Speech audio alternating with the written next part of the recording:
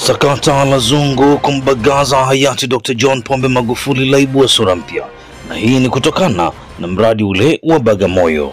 Wengi wamtaja kama ni mtu mnafiki ambaye anaangalia maslahi ya tumbo lake tu, na wengine walienda mbali na kusema wenda anatafuta nafasi ya uteuzi chini ya serikali ya awamu ya sita ya Mama Samia Suluhu Hassan. Mimi ni Simon Mzwanda wa Tan African TV.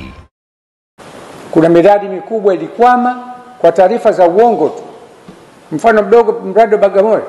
Ukichunguza ukweli wa mradi wa Bagamoyo, mwisho mgeni rasmi, hata kile ile awamu ya kudiscuss maslahi ya nchi hawakufikia kwenye hatua hiyo.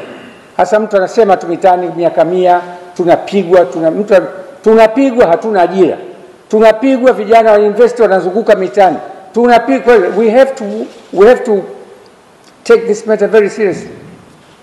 Kwa lazima sisi kama kamati hii ambayo ina cross cut mambo mengi kusimamia diplomasia ya uchumi, kuwa na negotiator wazuri wa kuweza kusimamia maslahi mapana ya taifa letu. Wazee wetu walitukataza uongo na unafiki, tuishi na tunayoyasema. Tunasema tutayalinda, tuyalindeni kwa vitendo, lakini tutalinda mapinduzi huku ukiwa peke yako. Ah, nipe babue, nipe.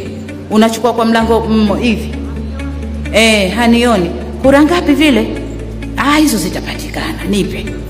Ukisha sisema eh, tutayalinda, tutayapigania. Unafiki. Nimefundishwa na Karume, naloliona silo niseme na nitasema.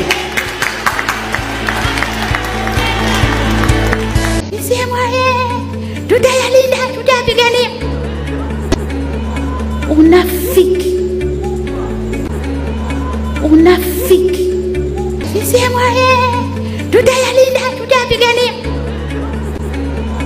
Unafiki. Tangazo muhimu kwa Watanzania na wote wanaoifuatilia Tan African TV. Tunapenda kuwafahamisha ya kwamba Tan Africa ni chombo huru, ni chombo ambacho hakifungamani na upande wowote, chombo kilichojikita kusimamia maslahi mapana ya taifa la Tanzania bila kujali chama, dini, kabila wala rangi. Mungu ibariki Tanzania, Mungu ibariki Afrika. Musa Hassan Zungu Pichani ni mbunge wa Ilala ambapo wiki hii taarifa zake zilisambaa kwenye mitandao ya kijamii ambapo wengi waliona ni kama taarifa zilizolenga kumchafua hayati Dr. John Pombe Joseph Magufuli. Afrika ilizungumza na Watanzania na kusikia maoni yao kufuatia kauli iliyotolewa na mbunge huyo wa Ilala ambayo wengi walichanganyikiwa baada ya kuisikia. Dada Betha kutokea hapa Dar es Salaam, Tanzania, ni nini maoni yako kufuatia kauli ya Zungu ambayo imesambaa sana kwenye mitandao ya kijamii na akionekana dhahiri kulibagaza jina la hayati Dr. John Pombe Magufuli? Yaani hii nchi mi ninachokiona kwa Zungu, kwanza ni unafiki, cha kwanza. Kitu cha pili, wakati hayati Magufuli akiwa hai Zungu alikuwepo na wakati Magufuli anaongelea habari ya ule mradi wa Bagamoyo, bado Zungu alikuwepo, sio kwamba alikuwa amekufa, alikuwa yuko hai. Hapa unaweza ukajiuliza kwamba hakuona kile kitu tangu Magufuli akiwa hai. Hilo jambo la kwamba hatuwezi kupigwa ameliona baada ya Magufuli kufariki. Na kitu kingine sio kwamba mtu unaweza ukakataa wawekezaji, lakini je, au wawekezaji wanavyokuja wanakujaje? Je, wa, mnaelewana hiyo mikataba ni sahihi? Kwa sababu ndo ile mnakuja kusainishana mikataba ya miaka mia moja. Sasa hivi hebu tu, tu, tu, tu, tu, tukumbuke Zambia, kitu kilichotokea kwa habari ya umeme, walisaini miaka mingapi? Mwisho wa siku anakuja kuwaletea matatizo. Kwa mi nafikiri tuache habari za kutumia matumbo, yaani mtu unaliwaza tu tumbo lako binafsi. Hebu angalia kile kitu kinachoweza kikawanufaisha wananchi wote ambao ndo wenye hiyo nchi. Ukisha sisema eh, tutayalinda, tutayapigania. Unafiki. Nimefundishwa na Karume, naloliona silo niseme na nitasema.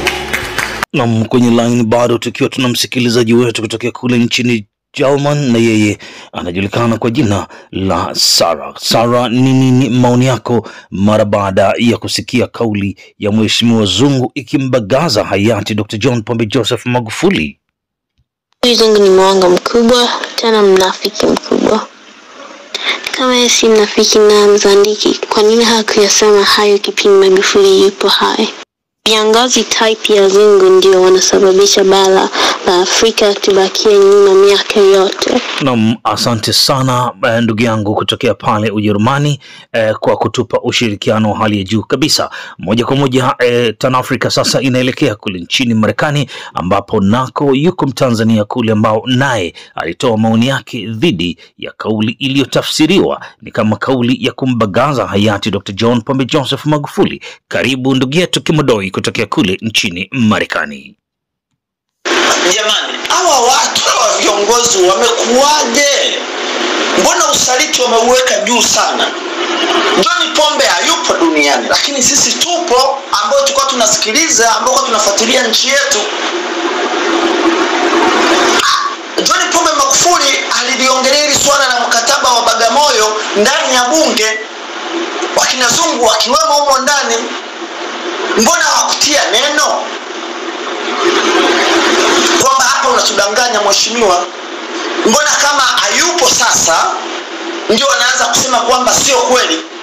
John Pombe Magufuli alisimama bungeni akatueleza Watanzania kwamba huo mkataba watu wanataka mkataba wa muda mrefu, sijui ni miaka mingapi walikuwa wanasema kwamba watataka kuchukua hiyo sehemu, na wakishaichukua huo mkataba wa Bagamoyo, haruhusiwi. Mtu yoyote wa serikali, hakuna cha tozo, hakuna cha TRA kuingia mle ndani, na wa- wa- hawataki bandari yoyote kipindi ambacho wamechukua wamejenga ile bandari yao ya Bagamoyo, bandari yoyote ya Tanzania, hizi bandari kubwa zifanyiwe hata marekebisho, kwa sababu zile inabidi zichakae, na bandari kubwa ambayo iwe inategemewa ni ya Bagamoyo, yaani kwamba wale Wachina waendelee kuvuna pesa mpaka mkataba wa mamiaka hayo watakuwa wame- wame- wamekabidhiwa hiyo sehemu, na ina- inachoonyesha ni kwamba kwa miaka yote hiyo watapokuwa wanatumia, wakija kumaliza hiyo mikataba tukiwa ambao watakuwa tuko kuiangalia hiyo bandari watakuwa wameiacha, itakuwa imebaki ni, ni, ni, ni, ni, ni, wana, kwa saudi Africa wanaita ni sikolokolo, yani itakuwa imeshakwisha, itakuwa imechakaa yaani sana sana wale wachimba madini ambao wanaochimba wakatuachia mashimo. Sasa Zungu anasimama kusema nini? Basi Zungu asimame atuambie kwamba okay, Magufuli aliongea hiki ni, hiki ni cha uongo, mkataba wenyewe huu hapa, simama wasomee wananchi kwamba mkataba, ukweli wa mkataba huu ambao ulikatazwa na John Pombe Magufuli ni, ni huu hapa, awasomee wananchi, aiweke wazi hiyo mikataba. Wacha kuwa wanaongea tu kwamba wanakuwa wana, wamepata jinsi ya kula sehemu, basi wanataka kutudanganya na sisi wananchi. Wakiamua kula basi wale kimya kimya tu, wenyewe wafanye tu mambo yao, si, viongozi, si nchi yao wao peke yao.